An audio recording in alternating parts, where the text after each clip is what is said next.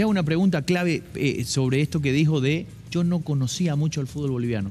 Porque cada vez que llega un entrenador a la selección o a un club, decimos, no, hay que darle tiempo para que conozca y se adapte.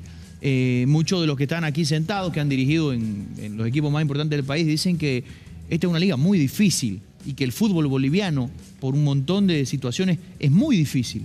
Y le quiero preguntar si siente que ya está del todo empapado, del todo adaptado, eh, o cuánto tiempo necesita un entrenador para, para encarar este reto de fútbol boliviano.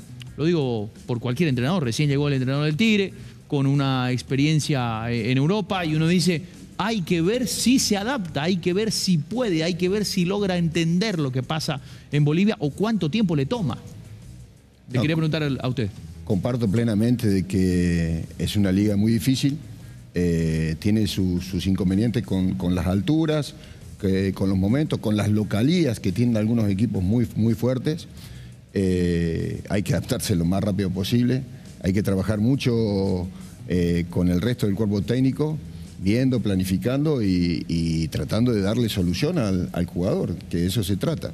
Pero, pero si es una liga difícil, yo vengo de la Liga de Perú, que también tiene los inconvenientes de la altura y circunstancias diferentes eh, de cada equipo, pero acá eh, es difícil, es difícil. Hay que adaptarse rápidamente y, tratar de enfocarse en lo que uno pueda hacer para ayudar al jugador.